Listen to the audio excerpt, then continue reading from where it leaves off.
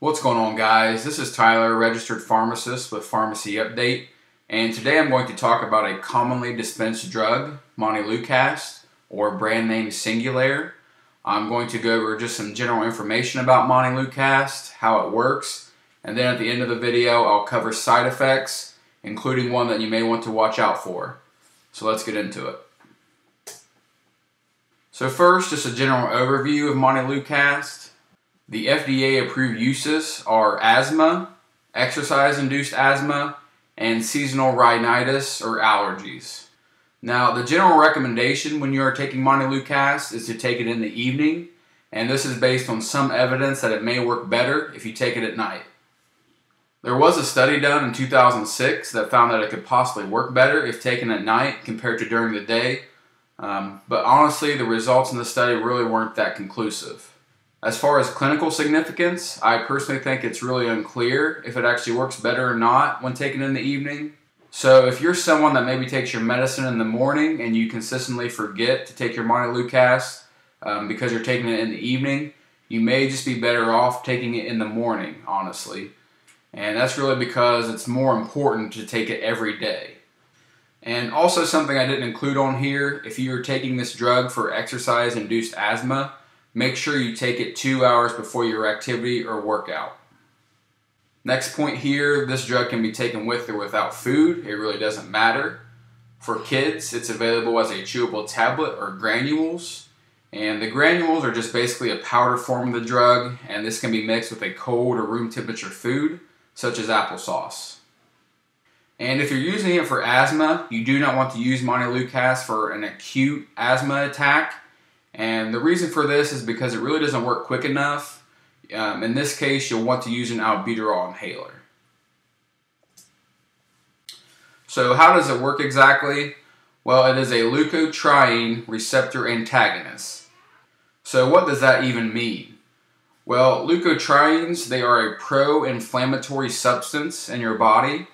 So when these leukotrienes attach to their receptors in your lungs, they can cause respiratory inflammation, airway edema, and smooth muscle contraction, which makes it harder to breathe.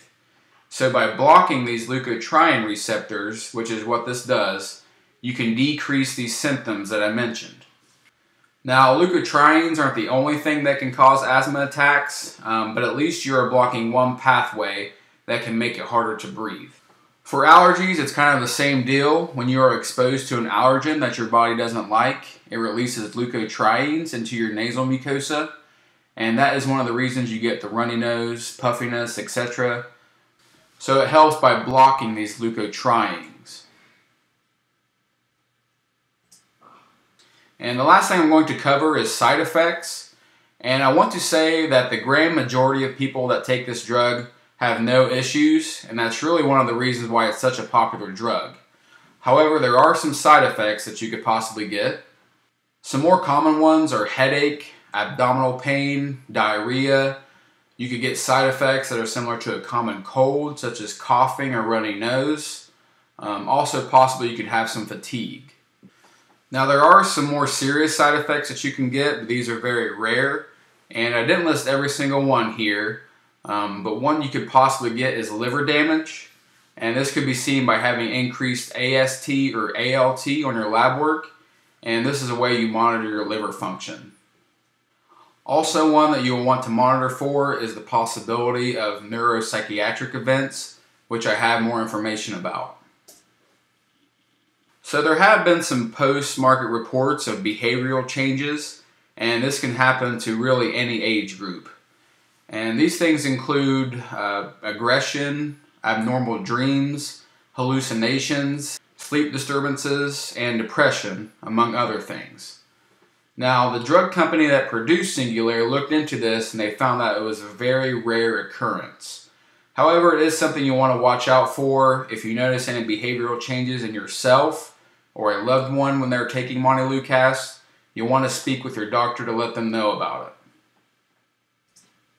So that's all I have, guys. I want to thank you for watching. Please subscribe to my channel for the latest pharmacy and medical updates. And I'll also post general drug reviews like this one. If you do have any further questions or concerns, you can comment below, or you can speak with your doctor or pharmacist.